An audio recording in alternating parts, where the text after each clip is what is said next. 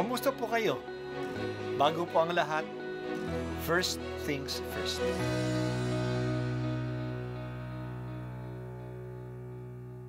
Good morning po. Sinisimulan po natin ngayon ang first things first. At dito po, tinatalakay natin sa unang bahagi ng umaga natin ay ang first readings na binabasa po sa banal na misa. Ito pong tinatalakay natin kasi madalas po kasi marami na tayong alam tungkol sa gospel readings. Pero konti po ang nagsasalita sa first readings. Pero ang first readings, bahagi din po yan ng Biblia, ng banal na kasulatan. Kaya susubaybayan po natin ang mga first readings, basahin po natin at kuminsan kailangan ng basahin ng dalawa o tatlong beses bago maintindihan kasi hindi po tayo sa familiar sa mga istorya at sa mga kaisipan na tinatalakay dito.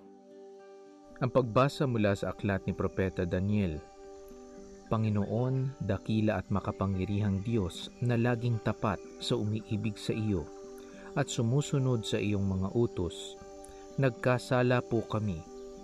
Nagpakasama kami at sumuway sa iyong mga tuntunin at kautusan. Hindi kami nakinig sa iyong mga propeta na nagpahayag sa aming mga hari, tagapamuno, magulang at sa buong bayan. Panginoon, ikaw ay laging nasa matuwid at kami ay laging nasa kasamaan tulad ngayon.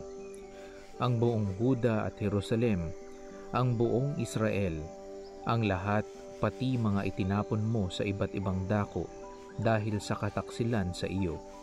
Kami po, ang aming mga hari at ang aming mga magulang ay laging nagkakasala sa iyo. Ikaw, Panginoon, ay mahabagin at mapagpatawad sa kabila ng lagi naming pagsalangsang at pagsuway sa mga utos na ibinigay mo sa amin na iyong mga alipin sa pamamagitan ng iyong mga propeta. Ang salita ng Diyos. Salamat sa Diyos. Kapag tayo ay nakararanas ng problema o kahirapan, ang madalas na ginagawa natin ay sisihin ang Diyos. Kaya ngayong pandemic, kapag namatayan o nagkasakit o wala ng trabaho, ay ang tanong natin, Diyos, bakit naman nangyari sa akin ito? Parang sinasabi natin na pinabayaan tayo ng Diyos. Iba ang itinuturo sa atin sa Biblia. Kapag may masamang nangyayari, tulad ng natalo sila sa digmaan, o nagkaroon ng salot, o tagutom, ang unang ginagawa nila ay umupo sa abo at humingi ng tawad sa Diyos. Hindi nila sinasabi na ang Diyos ang hindi makatarungan o kaya pabaya. Tumitingin sila sa kanilang sarili at humihingi ng tawad sa kanilang pagkakasala ang ganitong pakikitungo sa Diyos ay matatagpuan natin sa panalangin ni Daniel na ati sa ating pagbasa ngayong araw. Si Daniel ay isa sa mga pinatapon sa Babylonia pagkatapos na sirain ang Jerusalem at ang kanilang templo ng mga taga-Babylonia. Dahil sa katalinuhan ni Daniel at dahil sa ginagabayan siya ng Diyos, tumaas ang ranggo niya sa kaharian ng mga Babylonians at sa kaharian ng mga Persians. Minsan, pinagninilay-nilaya ni Daniel ano ba ang kahulugan ng pitong linggo ng mga taon na tinutukoy ni Propeta Jeremias na magdurusa ang Jerusalem.